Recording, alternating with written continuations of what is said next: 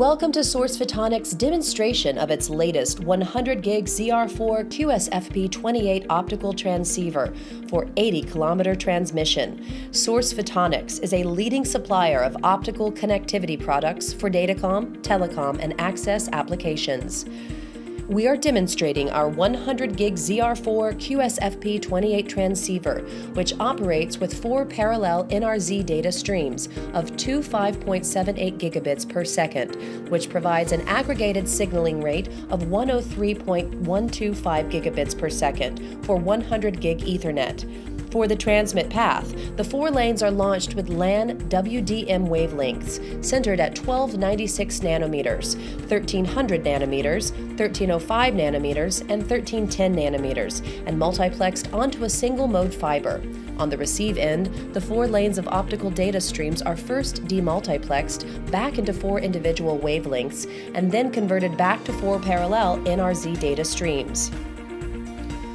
The module is fully compliant with small form factor QSFP28 related MSA described in SFF 8665, and digital diagnostic functions are available through an I2C9 interface.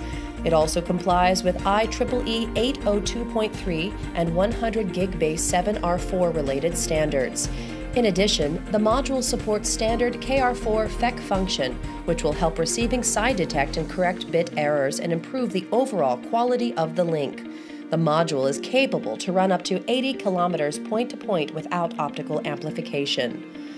The Source Photonics 100 gig ZR4 QSFP28 optical transceiver is a multi-purpose transceiver module usable in number of different applications in today's networking environment.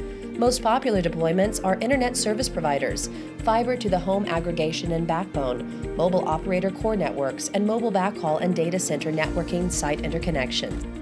In this demonstration, we are using our 100 gig QSFP28 ZR4 transceiver, running 100 gigabits per second live traffic over 80 kilometers single mode fiber.